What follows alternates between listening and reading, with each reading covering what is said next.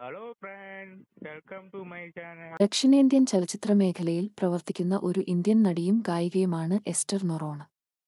പത്തൊൻപത് തൊണ്ണൂറ്റിരണ്ട് ജൂൺ പന്ത്രണ്ടിന് ഇന്ത്യയിലെ മഹാരാഷ്ട്രയിലെ വസായിൽ ജനിച്ചു.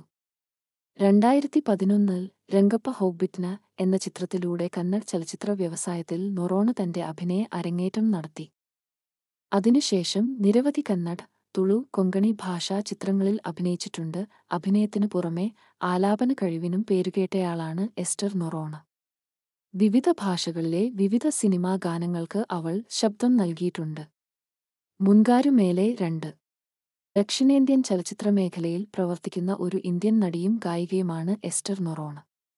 പത്തൊൻപത് തൊണ്ണൂറ്റിരണ്ട് ജൂൺ പന്ത്രണ്ടിന് ഇന്ത്യയിലെ മഹാരാഷ്ട്രയിലെ വസായിൽ ജനിച്ചു. രണ്ടായിരത്തി പതിനൊന്നിൽ രംഗപ്പ ഹോബിറ്റ്ന എന്ന ചിത്രത്തിലൂടെ കന്നഡ ചലച്ചിത്ര വ്യവസായത്തിൽ നൊറോണ തന്റെ അഭിനയ അരങ്ങേറ്റം നടത്തി.